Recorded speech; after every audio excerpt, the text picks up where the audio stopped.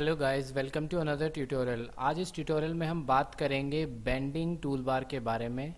Bending toolbar insert यहाँ से आप देख सकते हैं बेंडिंग टूल बार है। इसके अंदर कुछ कमांड है bending band conical band band from flat unfold and fold ये बहुत यूज़फुल कमांड है तो आज हम इनके बारे में बात करेंगे।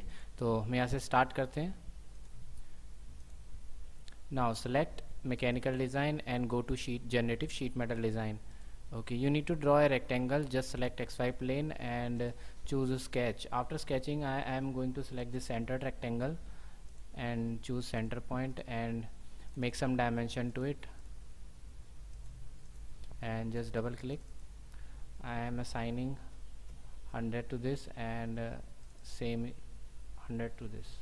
Okay now I am exiting. After exiting workbench you need to activate this sheet metal parameter button unless you unless you do not activate this sheet metal parameter button the other command will not activate so that's why you need to activate first मैं इसे activate कर लेता हूँ there you have thickness and default band radius and I'm giving thickness is 2 mm 2 mm is okay and okay now you can see my command are commands are activate activated just go to insert and choose wall and select this wall feature and click this rectangle and okay Now I have a sheet rectangular sheet now go to insert and choose bending select here bend command uh, before before this I need to create a flange I am selecting wall on the edge and uh, मैं इसकी एक as पे click कर देता हूँ तो मेरे पास एक यहाँ पे फ्लैंज आ जाती है मैं इसको ओके okay कर देता हूँ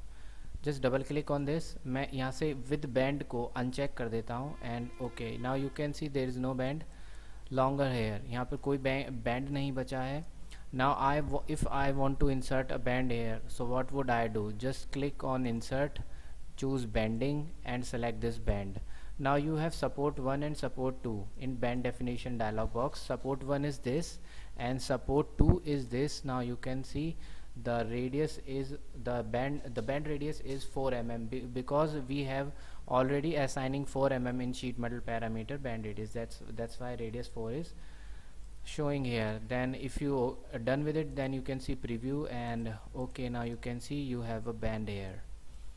Now next is my conical band. Okay just undo this process uh, select this conical band or you can select from here insert banding and select this conical band. Conical band basically है क्या एक variable radius fillet की तरह काम करेगा ये। You have now support one and support two दोनों पे आप क्लिक कीजिए। आपके पास राइट एंड लेफ़्ट यहाँ पे आप देख सकते हैं तो। सो लेफ़्ट रेडियस मैं टू रहने देता हूँ। राइट रेडियस को मैं और थोड़ा इंक्रीज कर लेता हूँ। Eight M M and then okay ना यू कैन सी यहाँ से तो रेडियस कम है और यहाँ से काफ़ी ज़्यादा है। तो this is conical band next मेरे पास यहाँ पे कमांड आती है बैंड के अंदर band from flat so you need to draw a line I am undo this process I undo this process just select this face and choose a sketch sketch button choose करने के बाद आपको इसके ऊपर एक line भी draw करनी पड़ेगी. सो so, मैं इसके ऊपर एक लाइन ड्रॉ कर देता हूँ क्योंकि शीट यहीं से बैंड होने वाली है. Exit after exiting you need to select the command, go to bending and select band from flat. Profile आपके पास ये है तो आप इसको सेलेक्ट कर दीजिए। बैंड आपको, अब आपके पास फिक्स पॉइंट है। आप फिक्स पॉइंट कौन सा फेस आप फिक्स रखना चाहते हैं? तो मैं फिक्स यहाँ पर ये वाला पॉइंट रख देता हूँ। तो ये फेस मेरा फिक्स हो जाएगा, आप देख सकते हैं फिक्स पॉइंट यहाँ पे आ रहा है। बैंड आपको ऊपर की डायरेक्शन में करना है, या नीचे की डायरेक्शन में करना है। आप अपनी मर्ज़ी से सेलेक्ट कर सकते हैं और आप इसको ओके कर दीजिए। तो आपके पास एक ये बैंड फ्रॉम फ्लैट सेलेक्ट हो जाएगा। अगर डबल क्लिक करेंगे तो फिर एक्टिवेट हो जाएगा। इसको नीचे की डायरेक्शन में कर दीजिए तो ये नीचे की डायरेक्शन में आ जाएगा। ओके। जस्ट डबल क्लिक कीजिए। आपके पास अभी यहाँ पे डिग्री आ रहा है। आप कितने डिग्री में इसको बैंड करना चाहते हैं? अभी मैं यहाँ पे 50 डिग्री डाल देता हूँ और इसको ओके okay कर देते हैं। तो ये 50 डिग्री में बैंड हो जाएगा। नेक्स्ट हमारे पास आता है। इंसर्ट में जाएँगे, बैंड में जाएँगे। Fold and unfold. तो यहाँ से हम देखते हैं। मैं इसको अंडू कर देता हूँ। ओके. अब यहाँ पर मैं एक वॉल ऑन दी एज में ऐड कर देता हूँ। सो so, मेरे पास एक ही सिंपल सा एग्जांपल हो जाएगा। तो इसको आप फोल्ड एंड अनफोल्ड कर सकते हैं। uh, मैं एक और यहाँ पे ऐड कर लेता हूँ चलिए। ओके नाउ मेरे पास यहाँ पे दो बैंड हैं। तो यहाँ से हम चलते हैं इंसर्ट के अंदर और बैंडिंग में आते हैं। बैंडिंग में आएगा unfolding select this unfold button. Uh, you need to select the reference face which is going to be stationary face with respect to these two edges or flanges. अब आपको अनफोल्ड कौन सा face करना है? कौन सा फेस आप unfold करना चाहते हैं? मैं ये वाला अनफोल्ड करना चाहता हूँ तो मैं ये कॉर्नर को सिलेक्ट करूँगा जो कर्व है आपको यहाँ पे दिख रहा है, और इसको आप प्रीव्यू कर सकते हैं तो आपको यहाँ पे नज़र आ जाएगा अनफोल्ड होकर। अगर आपको ठीक लगता है तो आप ओके कर दीजिए। सेम आप यहाँ पे कर सकते हैं। इंसर्ट में जाइए बैंडिंग में जाइए अनफोल्ड लीजिए कोई भी आप रेफरेंस फेस पे क्लिक कीजिए और यहाँ से आप अनफोल्ड फेस सेलेक्ट कर लीजिए, मैं इसको कर देता हूँ एंड देन ओके अगर अब अगर आप दोबारा से इसको फोल्ड करना चाहते हैं just go to bending command and choose this folding button folding button में सेम आएगा आपके पास रेफरेंस फेस अब मैं चाहता हूँ कि ये दोनों ही फेस अनफोल्ड हो जाएँ तो आप यहाँ से सिलेक्ट कर सकते हैं इसको. फोल्ड फेस आप ले सकते हैं, मैं एक ये फेस सेलेक्ट कर देता हूँ एंड देन एक ये फेस सेलेक्ट कर देता हूँ. ओके एंड देन ओके तो आप देख सकते हैं कि दोनों फेस वापस से फोल्ड हो गए। इसके अंदर एक और फीचर है, हम यहाँ से उसके बारे में बात करते हैं। इंसर्ट में चलते हैं बैंडिंग के अंदर मेरे पास आता है फोल्डिंग फोल्डिंग के अंदर एक स्प्रिंग बैक फ़ंक्शन है तो यहाँ से आप जाके उसको सिलेक्ट कर सकते हैं। स्प्रिंग बैक फ़ंक्शन बेसिकली क्या करेगा, उसके ऑपोजिट में उसको बैंड कर देगा।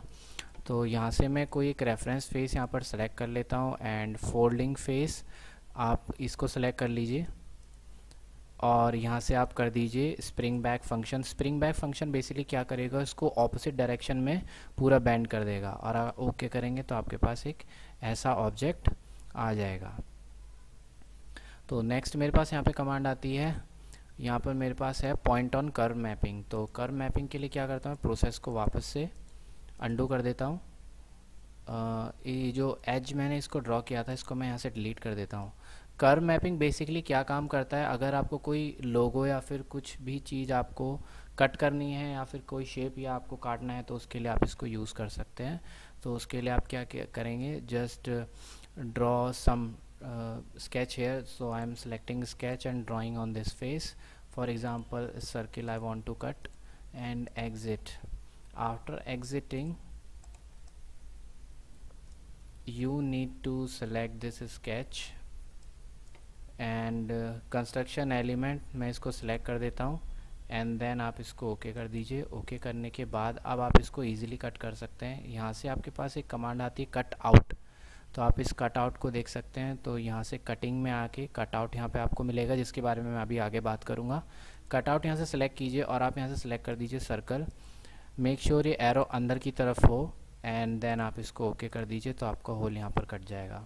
नेक्स्ट यहाँ पे एक प्रोफ़ाइल हम ड्रॉ कर लेते हैं इस फेस के ऊपर सो मैं यहाँ से एक स्प्लाइन ड्रॉ कर देता हूँ। कुछ भी एक शेप की आप ड्रॉ कर लीजिए, जैसा शेप आप काटना चाहते हैं एंड आप वहाँ से आप एग्जिट हो जाइए। एग्जिट होने के बाद you need to select this point on curve mapping and just go to insert banding and point on curve mapping and you need to select this sketch तो आप देख सकते हैं स्केच इधर आ गया है एंड देन ओके आप इसको अनफोल्ड कर लीजिए, यहाँ से आप जाएँगे और यहाँ से हम अनफोल्ड इसको करेंगे। Select this face and select all and okay now you can easily cut this kind of logo click कीजिए इसके ऊपर, इस एरो को अंदर की डायरेक्शन में रखें। अगर ये एरो की डायरेक्शन बाहर होगी तो बाकी अंदर वाला पोर्शन यहाँ पे रहेगा और बाकी का बाहर वाला यहाँ से हट जाएगा। तो इसको आप ओके कर दीजिए तो आपके पास एक ये ऐसा लोगो आ जाएगा।